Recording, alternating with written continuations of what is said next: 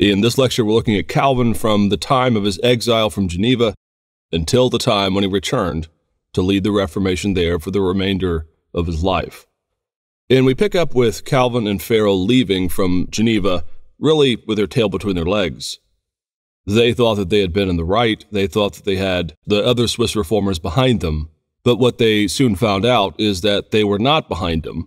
But in fact, the majority of the folks who ran the Swiss Reformation found them to be little more than a nuisance. They found that their actual perspective, the things that they had applied themselves to in Geneva, had made the matter worse, since the Reformation was only newly begun in Geneva. Their new hostilities and the controversies that they provoked may have managed, at least it was believed at the time, to propel Geneva back into the arms of the Catholic Church. Well, for a period of time, Calvin in particular travels back and forth between the cities of Bern and Basel. Neither of these cities was going to be a permanent residence. Calvin was really sort of searching for what he was going to become now that he had given up the role of being a leader of a reformed city. And these really are trying times for Calvin. He just simply is not sure what to make of all of this. He consoled himself with the fact that he had never wanted to be a reformer in the first place. Well, during this time of intermittent exile, the reformers of the Swiss regions, in particular Bucer in Strasbourg and Bullinger in Zurich, argued that Calvin and Farel needed to be separated. The relationships between these two men, it seemed, was for the worst. Better to separate them, let them go their separate ways, let them learn patience and humility, rather than keep the two of them together and stoke up more controversy down the line. Well, almost immediately, Farel is sent off from Calvin's presence and he takes up a post as pastor at Neuchâtel. And you'll remember from our last lecture that Farel had actually begun the Reformation there. And so their calling of him to be their pastor made a great deal of sense for Neuchâtel. Bucer and others applauded this decision, though, because it essentially separated Calvin from the man who made him so hot blooded. Well, what to do with Calvin now? Well, again, into the fray steps Bucer. Bucer invites Calvin up to the city of Strasbourg to live there and to serve there, both as a teacher and as a temporary preacher from time to time, leading a congregation. But the ulterior motive, obviously, was that Bucer wanted to keep an eye on Calvin. Well, what was Calvin's life like at the city of Strasbourg? Well, there are a number of features, personal as well as theological, that begin to shape Calvin's life during his stay there with Bucer. We've already mentioned that Bucer gives Calvin free rein to serve a church there locally, as well as to, in part, at times, preach. Well, the issue in Strasbourg was not the same as it was in Geneva. Strasbourg was its own city. It had its own power base. It officially answered to the Holy Roman Empire. But as a result of a number of good actions that they had done on behalf of the empire, on behalf of Charles, Strasbourg was given the privilege to be labeled an independent city, and it was trusted to govern much of itself on its own. And so the issues that Calvin and Farel faced in Geneva, where they wanted to affect the Reformation and bring change about, and where they wanted to be the ones who called the shots, was simply not the issue in Strasbourg. Because while Geneva had resisted this, not only because it was a bit reticent to allow so much power to the foreigners, but also because it answered to the city of Bern. That resistance that Calvin experienced in Geneva, he did not experience in the city of Strasbourg. Bucer had more or less an iron grip on the city, and he was trusted because he was at the height of his powers at this point in his life during the Reformation to lead the church in whatever way that he saw fit by and large. And we can cover the personal side of Calvin in Strasbourg first. One of the things that actually happens for Calvin is he needs to find a place to live when he arrives. And for a period of time, very short period of time, but for a number of weeks and months, Calvin actually lived in Bucer's home. Bucer had this magnanimous, hospitable spirit about him. He wanted Calvin to be with him. He wanted Calvin to be around him. And so when he arrived, Butzer gave him lodging in his own house. Not long after, though, a home is eventually found for Calvin and it was more or less next door. In fact, the homes of Butzer and Calvin share a garden together. And though we don't have a lot of great detail in the same way that we have with Luther and the Table Talk, we do know that the two would spend many a night together. There are lots of chance moments bumping into each other, and Butzer really becomes the older brother during this. And there's an analogy that's used by a recent biography of Calvin that I think is pretty fitting, and it will help us understand what Calvin is going through. Calvin, of course, comes onto the scene in the Swiss regions a bit late. He was also relatively without connections when he arrived there.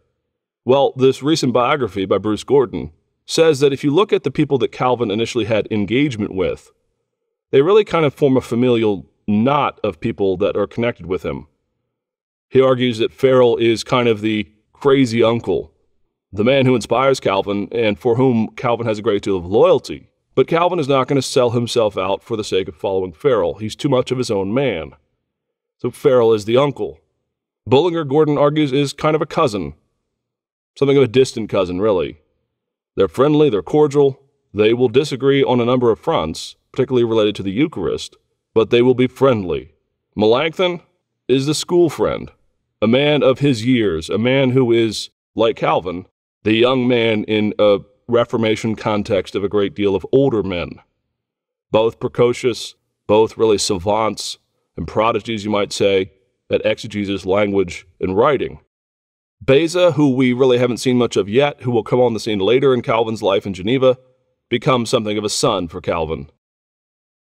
But in the end, it's Butzer who forms the father figure for Calvin. Butzer is a bit older, roughly the same age as Luther, in Calvin not really having a father figure growing up in terms of his Protestant theology. You have to remember he was sent off to school and never really returned for any significant period of time to the city of Noyon. Calvin had never really been mentored or shepherded. He'd never had a father figure during his times in either Paris or in Geneva. And Butzer finally fills that void and becomes his first real discipler. And so Calvin really was nourished in the home of Butzer. It wasn't just a theological friendship or a mentorship of the mind, but rather it was a familial relationship. Calvin was a precocious, single individual, somewhat lonely, somewhat isolated. And even Calvin himself said that he never spent an evening at Butzer's table without learning something.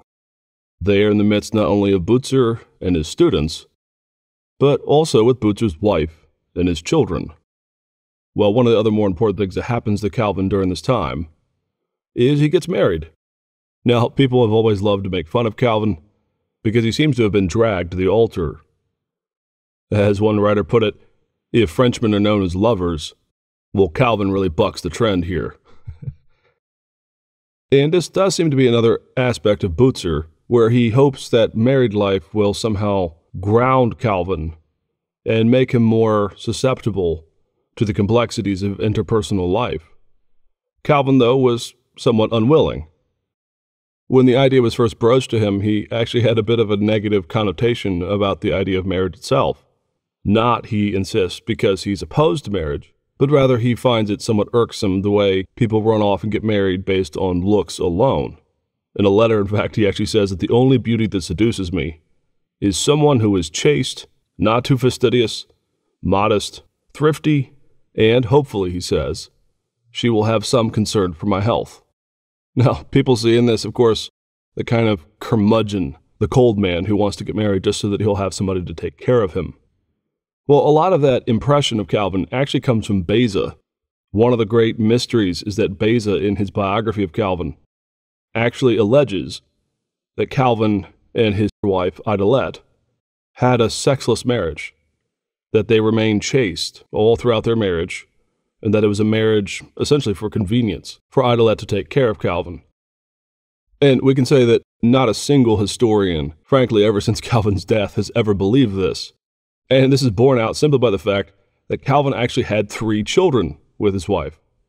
Now, they all died, usually in infancy, and so there was no legacy of a son or a daughter with Calvin and his wife. But you don't have to be a master of logic to realize that if they have at least three children, the idea that they remain chaste in general would seem to be on rocky ground. Well, the candidates that are proposed for Calvin actually give us a little bit of a window into his personality. The first that was proposed was actually what we might call a well arranged marriage. It was somebody that came with money and with a family that was actually quite supportive of Calvin. The potential bride, her brother, actually was very much in favor of Calvin's understanding of theology and of his teaching. Calvin actually rebuffed this, though. In a letter to Farel, he actually says that he was unwilling to attach himself to too much money.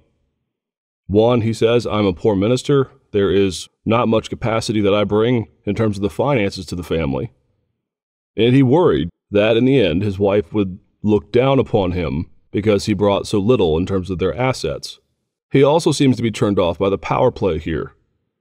He doesn't really seem to want to be tied in with an important family with lots of money, no matter how much they supported him. No, in the end, Calvin chose really an unlikely woman when you look at it from just the advantages that Calvin might have gained from marriage.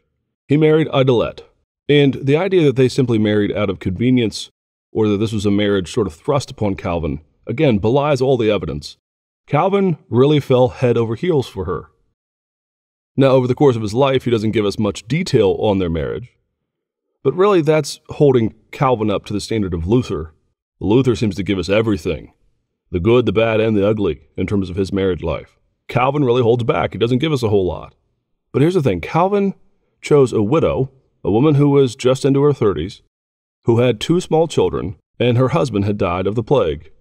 More importantly, though, when they had fled to Strasbourg, when they were still married, Idelette and her husband, they were Anabaptist. And if you know anything about the history of Anabaptism at this point, and remembering all the way back to the lecture we did on the 1536 Institutes, you'll recall that Anabaptism was really a mocked and a scorned perspective on the faith. There was still widespread condemnation and, in many places, persecution of Anabaptists. Now, when Idelette and her husband had arrived, before he had died, they had attended Calvin's church, and they had been won over to the Reformed faith. They had come out of their Anabaptism. But there would have been a lot of people who would have clucked their tongues at Calvin marrying a former Anabaptist. Sort of the aha, gotcha, you really are an Anabaptist. Those types of gossipy whispers would have been prevalent particularly amongst his enemies.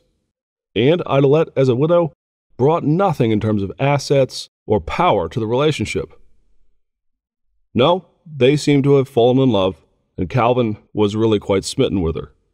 When she dies, and she dies before he does in Geneva many years later, Calvin will say that he has lost his lifelong companion. And the little window he gives us into his soul, into his heart, tells us that he really did love her, and that their marriage, though complicated with illnesses and the complexities of being the lead reformer in a city like Geneva, their marriage was a good one. So Calvin in Strasbourg has a number of personal leaps forward. He has a mentor. He has, before he's married, a very good relationship with the Butzer household. And he gets married. And, as anyone who's married can attest, the complexities of the interpersonal relationships of marriage will certainly wake up a somewhat snobbish 30 year old to the complexities of life. Well, what about the theological issues? What steps did Calvin take in his time in Strasbourg that prepared him and then propelled him back into the city of Geneva? Well, first and foremost, we of course need to tie in here that it is in Strasbourg where Calvin makes his major edit, the first major edit, the 1539 edit, to the Institutes. It is in Strasbourg where Calvin decides that he wants the Institutes to be more than they were originally intended to be. The other major work that Calvin pours his life into is the 1540 Romans commentary. And Calvin on Romans really is where he's at his best exegetically. If Luther's opus, in terms of his exegesis, is the book of Galatians, Calvin's commentary on Romans is that for him. It is his opus. It is at the most pregnant moment of the development of Calvin's thinking, and it's at the time when he had the most free time, you might say, to devote himself to this research and to the writing of this commentary. And so the 1540 Romans commentary comes out during this time. Another little gem that he publishes during this time that is often overlooked is that Calvin prepared a French edition and a French translation of the sermons of Chrysostom.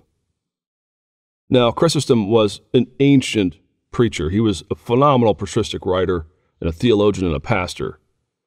I always tell students that Chrysostom is really the Spurgeon of the ancient church. His name, in fact, Chrysostom, was an honorific that he was given. He was called the Golden Mouthed One. Such a fine preacher that he was, such a homiletician, that the man, Chrysostom, was named Golden Mouth because of his eloquence. And Calvin prepares the sermons of Chrysostom and he prepares them into French. Now, this signals one thing about Calvin that is unique, and it is one of his most important contributions to the Reformed world in particular and to Protestantism in general. And that is that Calvin is a master and a deep reader and a lover of the patristic age. Calvin is not one of these Protestants, not one of these reformers, who really believes that after the book of Acts, everything goes to hell in a handbasket. For Calvin, the patristic witness is our witness. It is our heritage as well. It is not something that we consign to the flames. And people who have read the Institutes have commented repeatedly at the level sometimes to which he is willing to engage with people like Augustine and Chrysostom and others in the theology of the early four or five centuries of the church. Okay, so Calvin is mentored, he's married, and he is a bit of a changed man. So, how in the world, then, does he end up back in Geneva? Well, over the course of the time that Calvin was out of Geneva, the city was still in turmoil.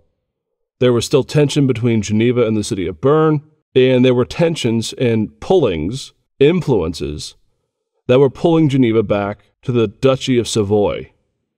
In fact, in the year 1540, just a year before Calvin is invited to return, there was actually a riot in the city of Geneva as opposing forces came to loggerheads, and this led to disorder within the city. Well, the material cause for Calvin to return actually comes from a cardinal in the Catholic Church. There was a leader in the church, a cardinal, by the name of Sadoleto. And Sadoleto was actually quite compromising and reformist, you might say. He certainly wasn't a Protestant, he wasn't about to become one, but he saw something in the Protestant message and in the Protestant revolt that he could appreciate. The issues of doctrinal conformity to the scriptures, the issue of the Renaissance papacy and the abuses of the papacy over the years were things that Sadoleto could get behind. Rather, he felt that the Protestants had simply gone too far in their reforms. And so he felt that his role as a cardinal in the church was to attempt to woo people back to the fold. Sadoleto actually himself, over time, become suspect within the Catholic Church. He had actually written a commentary on Romans, one of the main exegetical bones of contention between Catholicism and Protestantism. And that book, believe it or not, in a later year, will actually become banned as some sort of proto Protestant leaning text by a man who should have known better.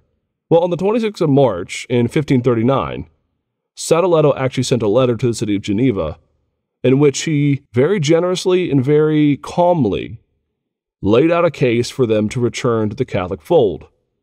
Essentially, his argument is you had a go at it, you got in bed with the wrong people, you're licking your wounds now, and you've realized the error of your ways, and so why don't you return to the fold?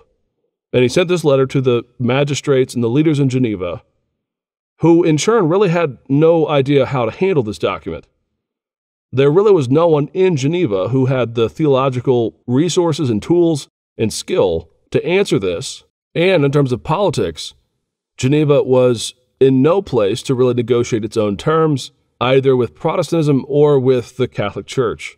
And so, wisely, they forwarded the letter on to the city of Bern and asked for a consult as to how to reply. And it's at this point when the other leading reformers those who were still in the city of Bern, and Bullinger, and Bucer himself pushed Calvin to the forefront of the Reformed movement in Switzerland. Bullinger and Bucer easily could have written a response, and there were a number of others in the city of Bern who could have at least had a go at it. But it's at this point when they decide that Calvin has reconciled himself enough, that he's ingratiated himself with the other reformers, and they felt that he was in a good position, both in terms of his acumen and in terms of the time that he had on his hands, to make a good response to Sadoleto and his letter. Calvin is a bit hesitant at this point, but he is willing. This really is Calvin's bread and butter. A well reasoned argument from a humanist man who makes the case for Catholicism was the world that Calvin had come from.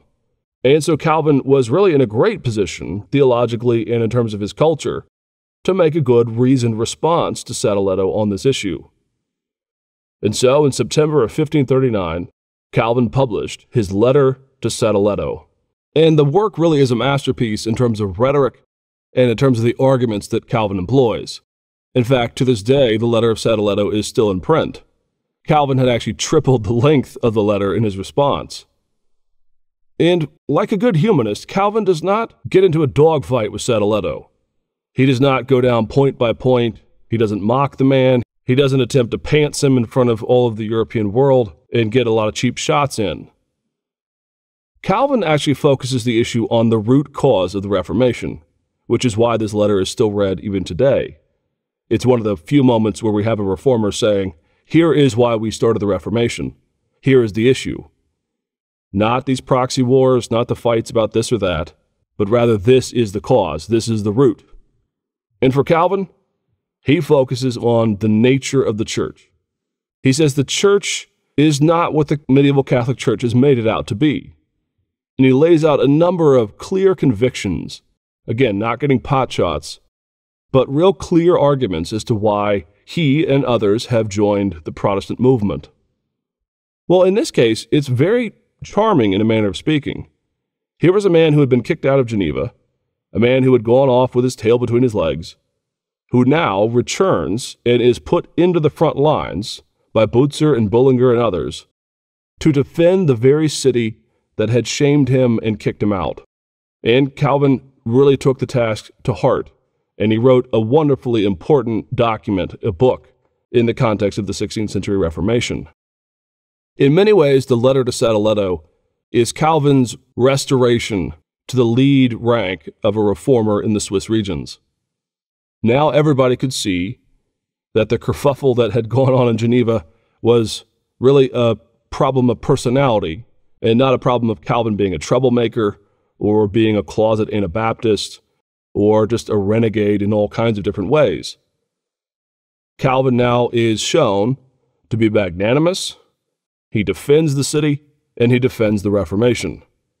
And lo and behold, the city, now in need of real strong theological defense and realizing its weakness both in terms of the church and the Reformation and realizing its weakness in terms of its relationship to the other Swiss cities in the Reformed movement, began to ask about for someone who would come to their aid, someone who would come and take up residence there in Geneva. And yet again, it's Butzer and Bullinger and the other senior leaders of the Reformed movement who put Calvin forward as the man to lead the charge. Now, Calvin has cold feet about this. He actually says a few scathing things. He says he would not take it on if his life were at stake.